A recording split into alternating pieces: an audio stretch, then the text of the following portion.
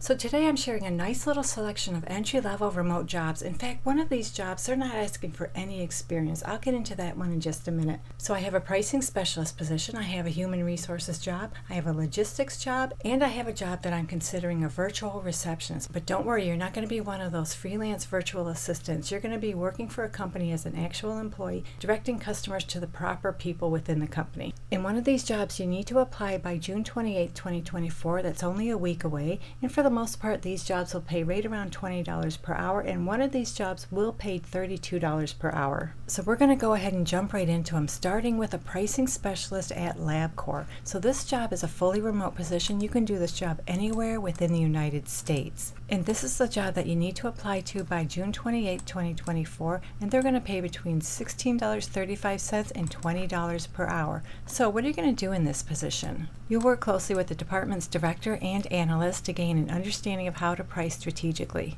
So this position requires excellent computer and analytical skills since the job centers on effectively evaluating data to make pricing decisions. So on a regular basis, you'll process SPR requests and perform price adjustments, answer and maintain requests sent through National Pricing email box. You'll also prepare and distribute tracking reports, distribute client-specific fee schedules. You'll coordinate with divisional business units for entry of GPO-related pricing requests and do additional responsibilities as required to support the business. They want you to have one to two years analytics experience and they prefer that to be pricing related analytics. And that's just preferred, that's not required. As long as you have some sort of analytical experience, you're definitely good to go. You need to be proficient with Microsoft Outlook and Word, and you have an intermediate level knowledge of Excel. They prefer you have knowledge of LCLS, LCBS, CRM systems, and that's just preferred, that's not required. And of course, you need excellent analytical and problem solving skills. You're team oriented, you're a great communicator, and you have excellent organizational and time management skills. And they'd like you to have a bachelor's degree in finance, accounting, or a similar field. So remember, you need to apply by June 28, 2024, and this job pays anywhere from $16.35 up to $20 per hour. If you like this job, you can find the direct link in the description below this video. This is job number one.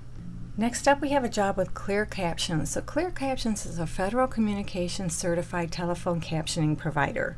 And right now they have an opening for a human resources coordinator. This is a 100% remote position. You can do this job anywhere within the United States. And you may have noticed this date right here. This job was posted on May 29, 2024. Now normally I don't present such aged positions, but I know this job is still available and typically companies post a position for at least a month. And because it's almost June 29th, 30 days from the May 29th posting date of this position, I'm willing to bet they're just about ready to hire for this job. So I'm going to scroll down here to show you how much this job pays, which is between $23 and $26 per hour.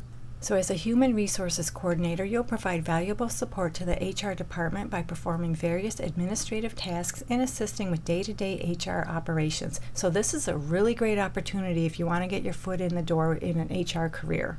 So the majority of your time you'll be managing all aspects of new hire gifts and milestone anniversary awards. You'll organize and coordinate HR meetings and events and that includes coordinating all aspects of travel including flights, accommodations, ground transportation, all those sort of things. You'll also provide administrative support for special projects and initiatives led by the HR COE leaders. And you'll do all that while handling sensitive and confidential information with the utmost discretion and professionalism, always maintaining a high level of integrity.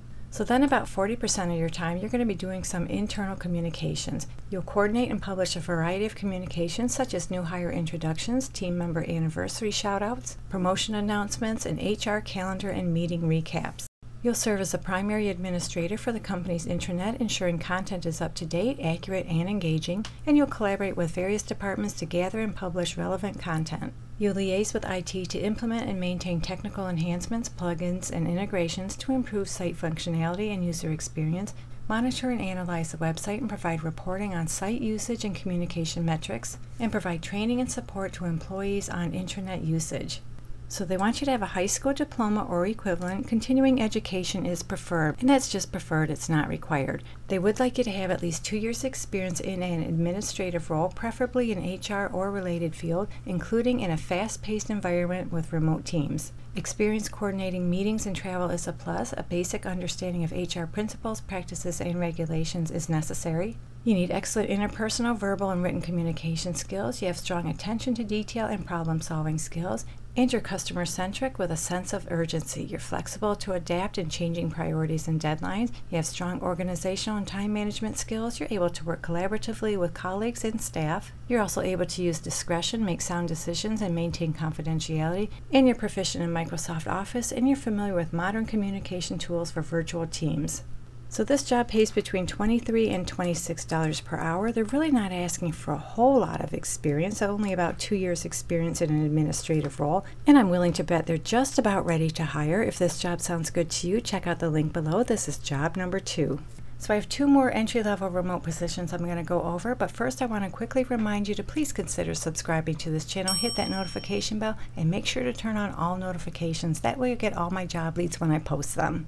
The next entry level remote job I have is with iHerb. They're looking for a junior global forwarding specialist. This is a logistics position and they're going to pay $66,560 per year, which comes to $32 per hour. So in this job, you'll manage all air freight forwarding and trucking activities, and you'll be responsible for coordinating daily transportation services for domestic and international shipments while assisting the specialist and team lead with developing enhanced routes and managing the industry vendors.